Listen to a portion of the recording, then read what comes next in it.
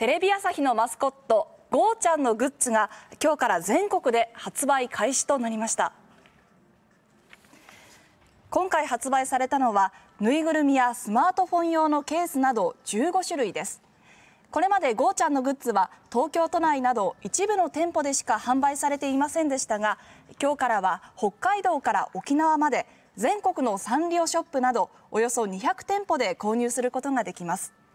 また5月5日はゴーちゃんの誕生日でここ六本木のテレビ朝日では今週土曜日からイベントが行われます。